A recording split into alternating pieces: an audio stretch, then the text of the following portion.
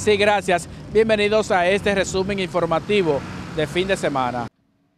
El repunte que ha tenido el coronavirus en esta parte del país llama preocupación a diversos sectores de la ciudad corazón. Jorge Peralta Sánchez, director de Clínica Corominas, señala que ya el centro agotó su capacidad. De repente, en la última semana, todas aquellas camas que nosotros habíamos recuperado para pacientes normales, tuvimos de nuevo que aislar áreas enteras para dedicarlo a pacientes de COVID.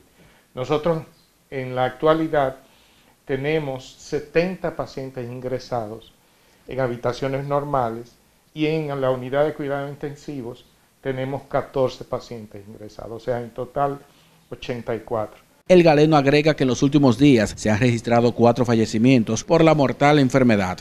Lo cual nos habla a nosotros de, un aumento en la incidencia, un aumento en la mortalidad. Otros centros de Santiago también registran un aumento de casos con sospecha del COVID-19, lo que ha generado alarma en la población. Eh, día por día yo veo que hay más, más pacientes con, con el COVID y más gente falleciendo. Pero no veo por qué ahora hay más, eh, más contagio en el boletín 91 del Ministerio de Salud Pública, en esta parte del país se registran 11 casos nuevos con un fallecimiento, 1.711 casos acumulados y 89 fallecidos desde que inició el virus a impactar el país.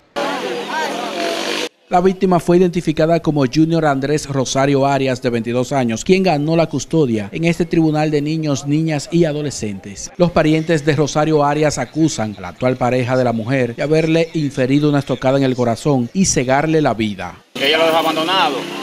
Mi mamá lo agarró y estaba, lo estaba manteniendo ellos y ella estaba haciendo el esfuerzo por, por quitárselo a él. Y hoy tenían un caso, no sé, porque no sabía nada. Por ahí fue el asunto. Claro. El muerto no hubo tiempo porque iba en su motor y él lo sorprendió a doblar ahí. Ya el muerto se iba para su casa con su niño y su, y su mamá. Ok.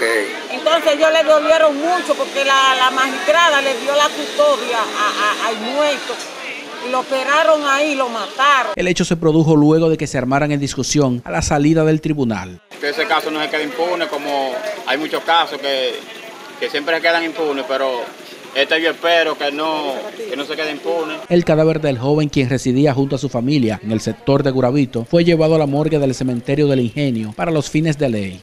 Se trata de Teresa Vitoriano, quien fue ultimada a manos de su nuera, Ana Marte, quien de inmediato fue apresada. De acuerdo al periodista Leoncio Peralta, quien habló a nombre de la familia, la pareja tiene 28 años de casados. Anoche le vino a dormir con ella su hijo y, la esposa del hijo. Eh, en la madrugada parece ser que la esposa del hijo, su nuera o yerna, se levantó y fue y le estranguló en su cama. El atrifulque, el hijo de la señora Miguel Ángel Pérez, resultó con heridas. Parece que habían algunas problemitas en la pareja. Parece ser, pero bueno. Todo, nada, una familia muy unida, muy integrada, toda armonía. Y está conmocionado, me ha conmocionado fuertemente. Esta señora está bajo el control del Ministerio Público para los fines de sometimiento a la acción de la justicia. No obstante, el esposo de, esta señora también se encuentra en, en buen estado. Ese es un caso, mi hijo, penoso, porque para la familia y para el mundo entero. La anciana ultimada padecía de cáncer desde hace varios años, mientras que la homicida, según las autoridades, al parecer padece de algún trastorno mental. Bien, de esta manera concluimos este resumen informativo de fin de semana. Hasta la próxima.